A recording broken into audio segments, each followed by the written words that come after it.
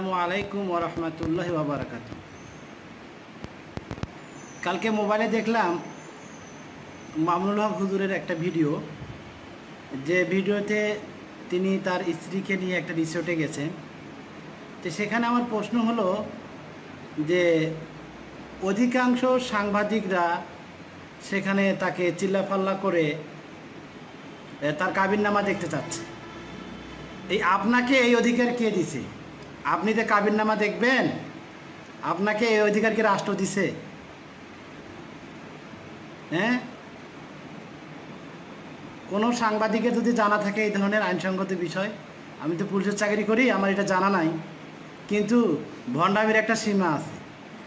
তারা যদি যায়, সে যদি তার স্ত্রী ব্যতীত অন্য কাউকে নিয়ে যাইতো হ্যাঁ? তাহলে আইনানুক ব্যবস্থা নেওয়া হইতো। আপনারা পুলিশকে খবর দিতেন। তাকে মিডিয়ার মাধ্যমে সে একটা আলেম মানুষ, তাকে একটা ষড়যন্ত্রমূলকভাবে ধরনের হেনস্থ করার চেষ্টা করা হচ্ছে। কারণটা কি? আর মামুনুল হক এত বড় একটা দায়িত্বে আছে হ্যাঁ তার মানে এই নয় আমি হেফাজতে ইসলাম করি। ওনার মতন একজন আলেম যদি এই কাজ করে হ্যাঁ বাংলাদেশ আইনে যাই থাকুক না কেন হ্যাঁ আমি মুসলমান হিসেবে ওনাকে পাথর মেরে মেরে ফেলতাম। হ্যাঁ উনি নিজেই তো এই মশলাগুলো দিবে আমাদেরকে। ওনার কাছ থেকে তো আমরা শুনব যে বেবি চাইনিকে পাথর মেরে মেরে ফেলা হোক। তা ওনার মতন একজন আলেম এই ধরনের কাজ করবে, ওনার বুকে সাহস জোগাবে, এটা আমি বিশ্বাস করি না। আর যেহেতু ওনার স্ত্রী, এই বিষয়ে ইসলাম কোনো বাধা নিষেধ দেয়নি। ওনার স্ত্রীকে নিয়ে গেছে, আর আপনি ভিডিও টিডিও করে দিয়া ওনারে বেবি চাইনি বানাচ্ছেন, এগুলো ভণ্ডামি বাদ দেন।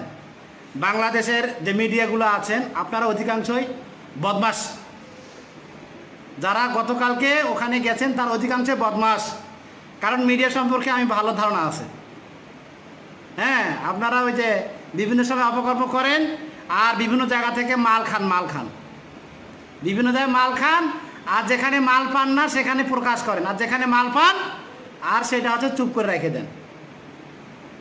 আপনারা সারাদিন কোনো তো বেতন বেতন টেতন নাই। এই এগুলো দেশের মধ্যে এগুলো করে খান। দেশের মধ্যে আপনার তো কোনো বেতন নেই। বেতন কোথা থেকে আসে? বদমাইশেরা কোথা খান ভণ্ডরা, কর্মসংস্থানে কোনো কিছু নেই, সারাদিন টোটো করে ঘুরে বেড়ে এখন আলেমদের পিছনে লাগছো না? দেশে আরও যে কতজন কত কিছু করতেছে, এগুলো বলো না কেন? কারণ কি? কতজনে কি করছে? সবার কাবির নামে দেখো বেটা। ভণ্ডরা, একজন আলেমকে পচানোর জন্য চেষ্টা করতেছ। এটা আলেমকে পচানোর জন্য চেষ্টা করতেছ। হ্যাঁ? আর মামুনুল হক যদি অপরা- অপরাধী হয় এই বিষয়ে, তাকে পাথর মেরে মেরে ফেলা হবে। তাকে পাথর মেরে মেরে ফেলা হবে। পাথর নিক্ষেপ করে মেরে ফেলা হবে। ও কোথায় নেতৃত্ব দিচ্ছে ওকে বুঝতে হবে। ও কোথায় কথা বলতে আছে ওকে বুঝতে হবে। অনেক মানুষের ভালোবাসার পাত্র সে। তার পক্ষে এই ধরনের একটা অপরাধ করা, তাকে বা এরকম অপরাধ করে তাকে পাথর মেরে মেরে ফেলা হবে। বাংলাদেশ রাষ্ট্রে কি আমরা মুসলমান? বাংলাদেশ রাষ্ট্রীয় আইনে ধর্ষণ ব্যবচারে কি শাস্তি থাকল, ওটা বড় বিষয় নয়। সে মুসলমান হিসেবে কথা বলতেছে, কারণ বাংলাদেশ তো মুসলমান রাষ্ট্র নয়। এখানে বিভিন্ন ধর্মের লোকজন আমরা বসবাস করি। আর এই বাংলাদেশে অনেক নাস্তিকরা বিসমিল্লা রহমান রহিম তুলে দিবে এই তাদের বিরুদ্ধে কথা বলেন না কেন? ও কোন কুত্তার বাচ্চা এটা কথা বলে? কোন যার সন্তান সে বিসমিল্লা রহমান রহিম সংসদ থেকে তুলে দিবে? সংসদের আর সদস্যরা চুপ করে বসে থাকে। সংসদের আর সদস্যরা চুপ করে বসে থাকে, পুলিশ বাহিনী চুপ করে থাকে, আমাদের সিনিয়র অফিসাররা চুপ করে থাকে। তাদের ভিতরে কি আল্লাহর কালাম নাই? তাদের ভিতরে কি আল্লাহর কালাম নাই? বিসমিল্লা রহমান রহিম তুলে দিবে। তাদের ভিতরে আল্লাহর কালাম থাকলে সবাই সবার পক্ষ থেকে কথা বলতো। আর্মির পক্ষ থেকে কথা বলতো। আমার ধর্ম আমি যাই হই না কেন?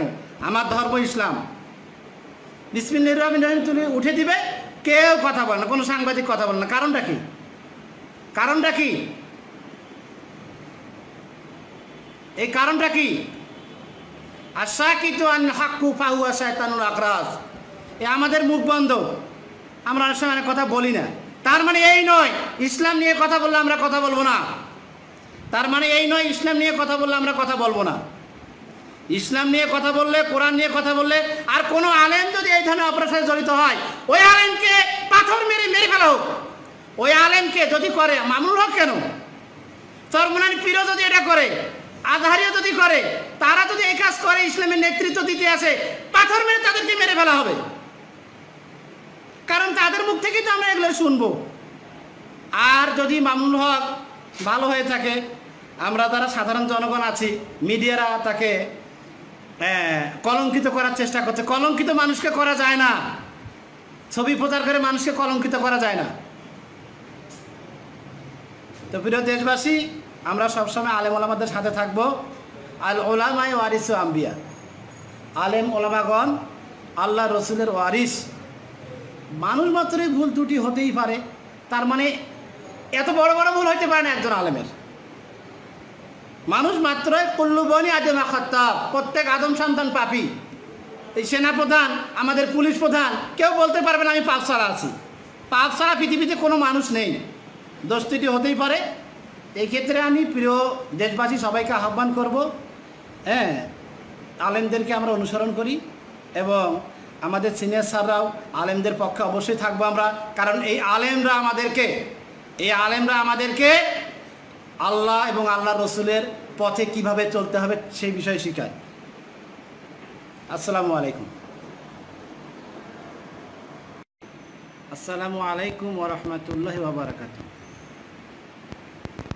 কালকে মোবাইলে দেখলাম মামুনুল হক হুজুরের একটা ভিডিও, যে ভিডিওতে তিনি তার স্ত্রীকে নিয়ে একটা রিসোর্টে গেছেন।